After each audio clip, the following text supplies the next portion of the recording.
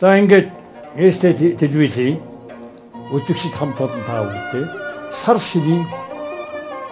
хамгийн сайн сайхан бүгд өгсөн ерөө